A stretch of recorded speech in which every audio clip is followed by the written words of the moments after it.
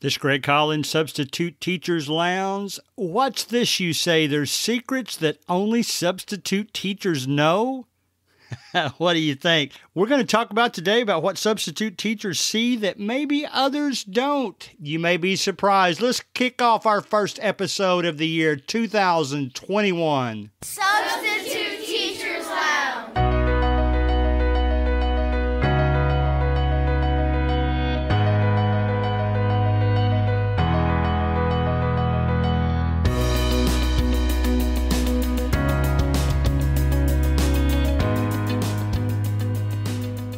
All right, guys, it is January 3rd, 2021, our first episode of a new season.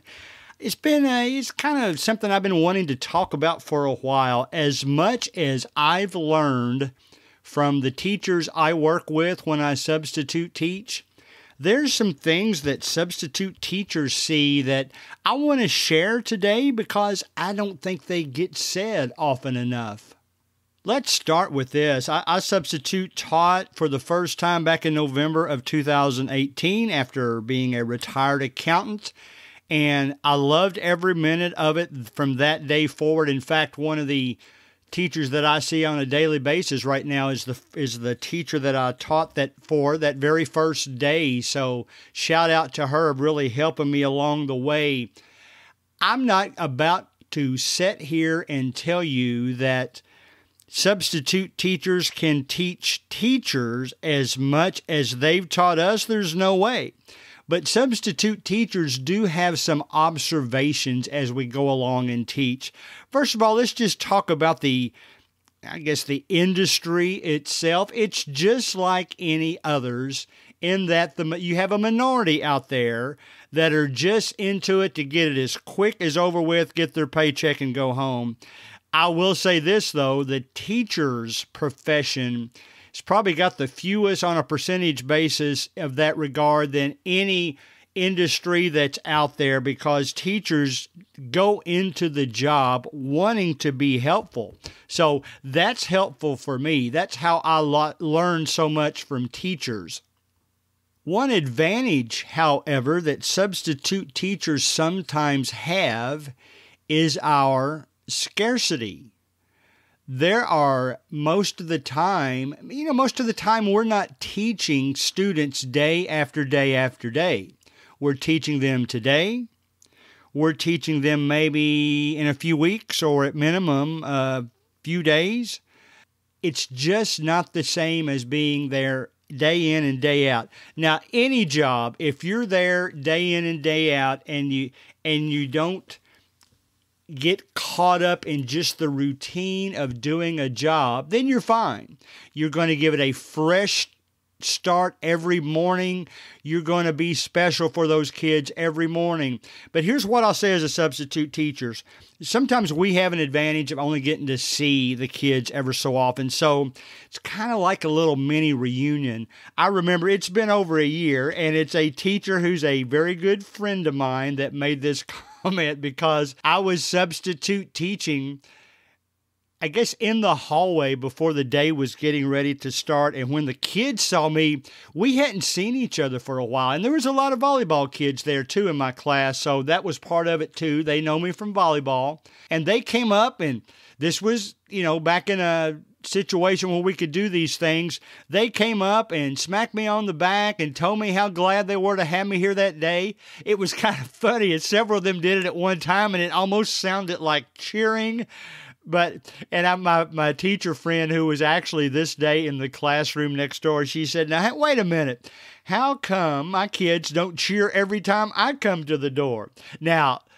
A lot of you teachers out there, most of you teachers out there, they might not be cheering, but they are happy to see you every morning. But I was glad that they were there to see me to be honest, I was a little embarrassed, but the reason that they were happy to see me to the point of being excited is because I'm not there as often as the regular teachers. They see their regular teacher every day. And I've noticed the same thing when I've saw it several days in a row. They're they might be happy, excited, say, glad you're here today when I walk in for the first day. They just show up in the second day. It doesn't mean they're less happy to see them or, uh, or to me or that I'm less happy to see them. It's just that the newness has worn off. He's back another day. We're glad he's here again today, but we, we don't cheer as loud today. Now, sometimes that's, I think that's some of the staying power that substitute teachers have.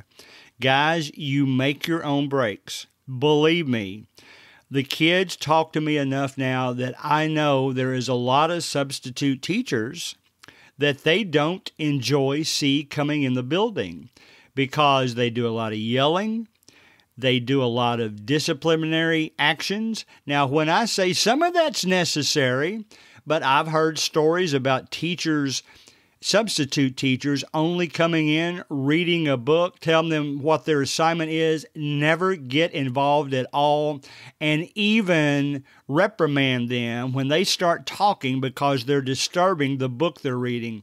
Well, that's never the type of substitute teachers I have. I'm sure that's the minority. I know that's the minority. So, the first thing that substitute teachers are a little bit different than regular teachers is we don't show up as often. We're not with the same kids as often. They're going to see some excitement when we come in, as long as we have treated them fairly. So, substitute teachers, the majority of them come in with a great attitude.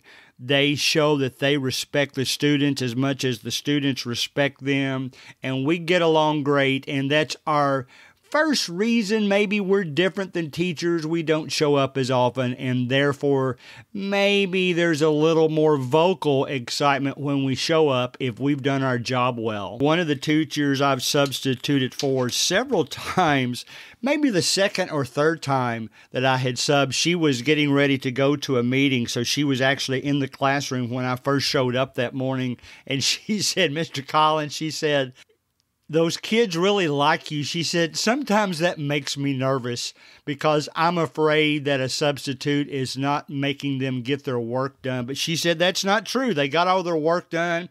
I'm glad that the kids feel that way about you. And that should always be the goal for a substitute teacher. Walk in friendly, walk in being willing, willing to listen.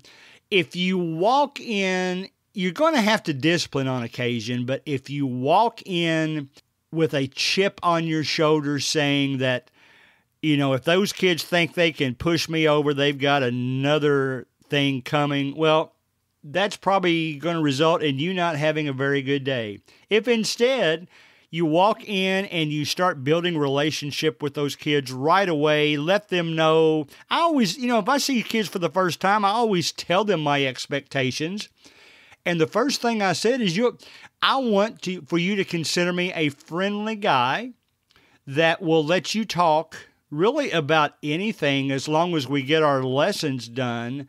But I respect you as much as you respect me. So until you give me a reason to lose that respect or to be forced into disciplinary action of some kind, you're going to get all the respect out of me you deserve, and that's a promise. So I'll start with a little speech like that.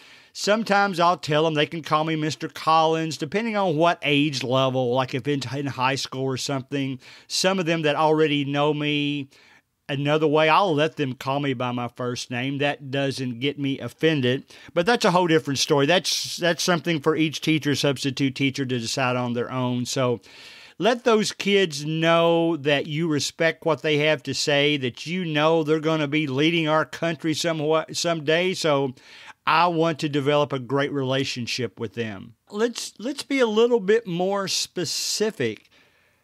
I know for a fact that once I have taught students several times, and if I make it onto the teacher's preferred list, I see a lot of students for additional meetings obviously, once I start doing that, they're going to be more and more comfortable talking to me. And therefore, teachers, they may share things. They may think the teacher is the best teacher in the world, but they might share things with us like, you know, I love this teacher, but I wish they would do something different or not use this program or not use this tactic. And it's interesting how they will open up to us as substitute teachers. It's not difficult. I usually already know because, generally speaking, the days of sticking a paper in a folder, a generic paper in a folder, when a teacher has to suddenly be gone.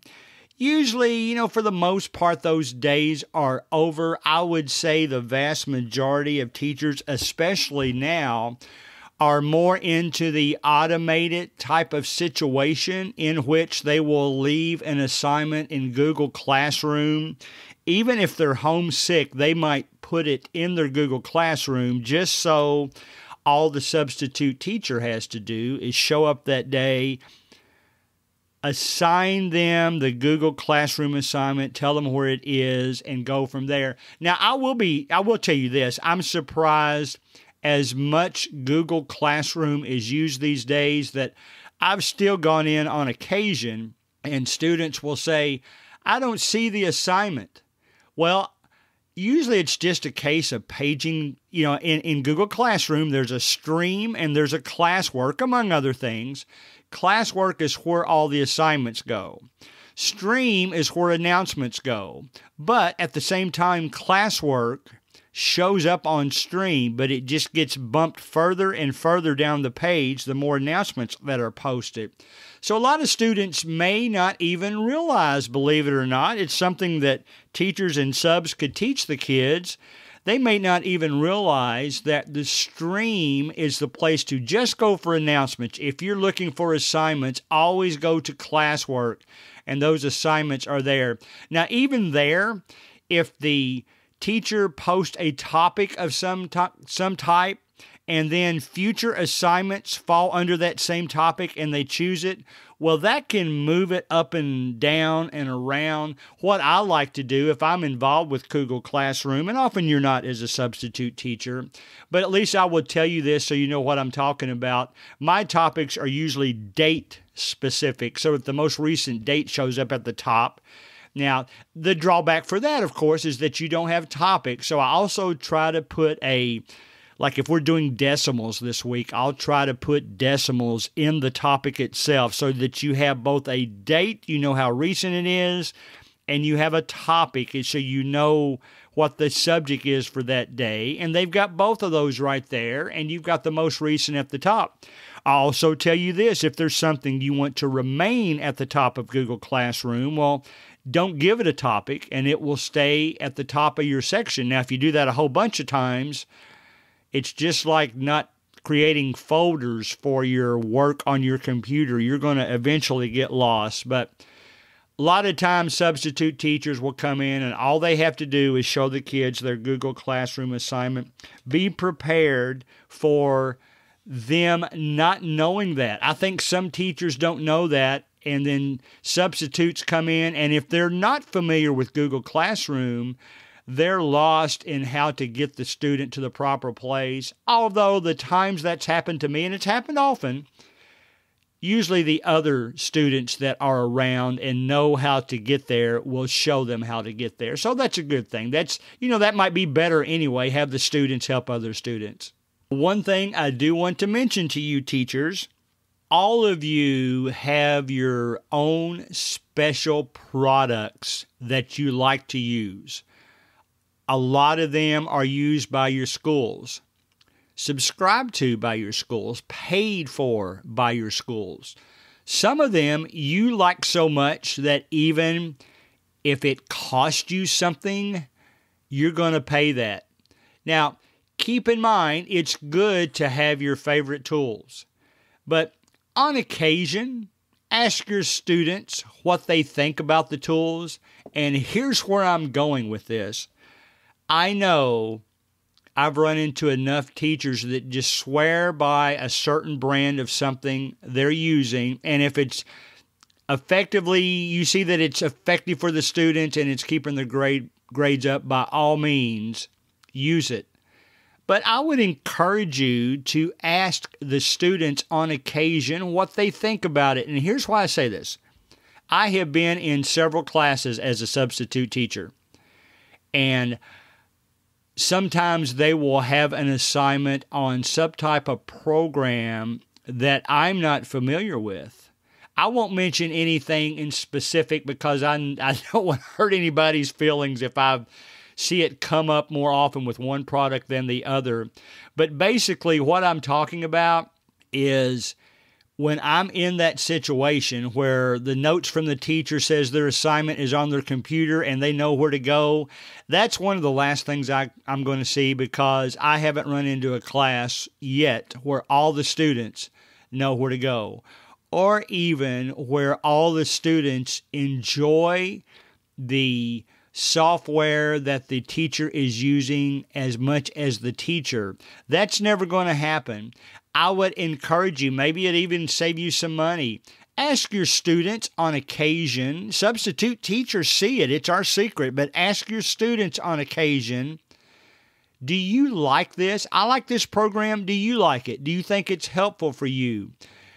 What do you not like about it? Maybe that's the best question to ask. Ask them what they don't like about it and then improve it from there.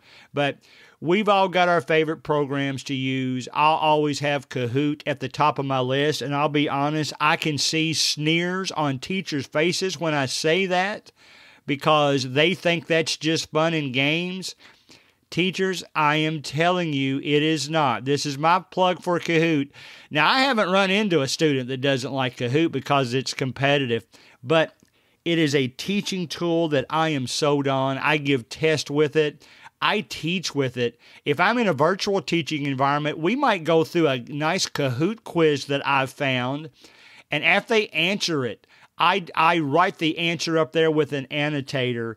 And, you know, there might be some that I see, man, only four of you got this correct. So let's walk through it together. So I really think Kahoot's a great teaching tool. And as soon as I say that, somebody is, some student is going to say, Mr. Collins, I listen to your podcast and I don't like it near as much as you do. So now I will say the only negative, I did have one student say that when I use it for test, it just makes her nervous. Even though I give them four minutes, it makes them nervous that they're going to run out of time. And this is a really good student.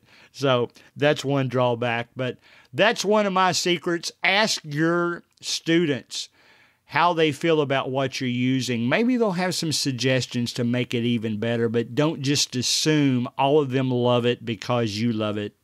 I will also tell you a secret, guys, that substitute teachers have that the majority, vast majority of substitute teachers, let's face it, they want to be liked most of them don't walk in and say, I could care less whether those students or those teachers like me at all. I'm just here to do a job.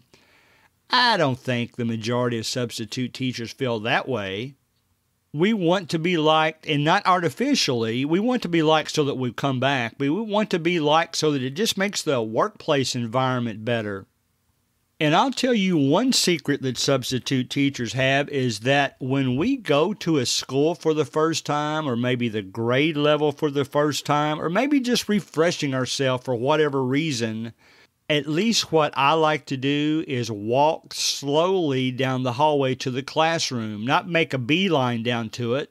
I want to walk slowly down the hallway and soak up what's on the walls, the t- from the temporary posters to the permanent plaques that are hanging on the hallway, pick up on the history of the school, pick up on trophies that they've won, pick up on academics, pick up on maybe student pictures and teacher pictures that are hanging in the hallway for various reasons.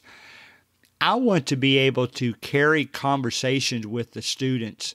Now, what I'm concerned about possibly is that teachers that go there every day might not pay attention to that as much as they used to. They might have looked at the walls and their surroundings at the school when they first got their job, and maybe they don't look at them as much. So, in that regard, a secret that a substitute teacher has is we like to soak everything up. We like to look in the hallways for interesting things. We've had an episode in the past where I saw a poster that it actually ended up being a student project to show how couples in high school should not display themselves in the hallway. It, was hanging on the hall, and I was kind of surprised when I first saw it. But when I heard it was something that students designed, it was even more meaningful because it was students telling fellow students, don't act this way in the halls. It's just not proper.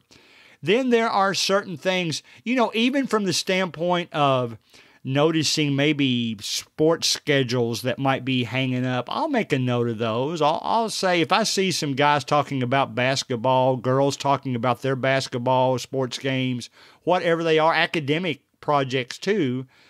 I might mention it if I hear them talking about it. Oh, I saw you see you have a game come up. So, substitute teachers I think, make a habit of soaking up their surroundings. If for no other reason, getting ideas. I know a lot of you are substitute teaching. Unusual for me in that you're maybe it's the most usual thing. It's just not my situation. It's a situation where you're going to be a teacher soon. You're young and you're substitute teaching to get some experience, and you're going to be a teacher soon. And you want to soak everything up. So that's another of our secrets. We try to soak up everything around us. We try to nod to the students that we see. We try to build relationships. I'm thankful. I didn't know it was apparent as it was, but I'm thankful that I once heard a teacher say about me one of Mr. Collins' strong points is that he knows how to build relationships with these kids. And I have worked with youth all my life. He knows how to build relationships. They typically think of him as friendly and someone that they can talk to. So that is something that we substitute teachers strive to do that maybe people that are in the building may take for granted from time to time because they're there so often. The last secret that I'll have is if I'm friendly with the students, I've noticed as I teach them more often, they want to share personal stories with me. Now, I know the teachers get that too, but if you're there just on occasion, they may share stories with you that will catch you by surprise. I've had conversations with students, I think, about everything. I show concern when I can see that they're not having a typical good day. Some students, you know, wear their emotions more on their sleeves than others. And I'll just ask them, anything wrong? You don't have your normal smile. And then it will make usually make them smile just a little bit. And maybe they won't say something at the time, but I do know students that will later come up to me and say, I'm glad you said that that made me feel better. Here's what I was feeling bad about. And some students will tell me I've heard stories all along about things that are happening with their family, things that might be going through their head, things, you know, even if they're talking about their orientation and what I I never I, you know I'm never judgmental with those students. I I don't think it's that my place. I will probably refer them to someone they should talk to, but they know I'm not going to judge them about what they're wearing, what they did to their hair, or maybe something even more personal they tell me tell me about themselves. I just want to be there to listen a secret that substitute teachers may have is we may have an advantage in that regard is we're like a fresh person coming in. And if we've been friendly with them before you know the kids that I have taught several times it is literally an all day thing of students coming up to me and sharing me their with me their new stories their new concerns their new Mr. Collins, what do you think topics. Of course, if it's topics that I'm really not in the best position to give them an opinion of, I'm not going to give the opinion, but they know I will be a listener and be willing to share my thoughts in a non judgmental way. So we kind of have that advantage over others as well that we're not there as often. So we may look be a fresh face that students feel like they can come up and talk to and share their thoughts with. Maybe they had shared them with somebody else that was just too busy at the time and if you tell a student to come back later, they're probably not. That that was probably the only chance they had to talk with you. So that's it. I enjoy being a substitute teacher so much. We do have things we can offer. We're not going to ever have as much teaching ability as regular teachers, but we can be the eyes, the ears, the shoulders that students need when we go in there. And that's our secrets for today. All right, guys, we're entering into 2021. It's going to be a great year of substitute teaching, and we will see you next week.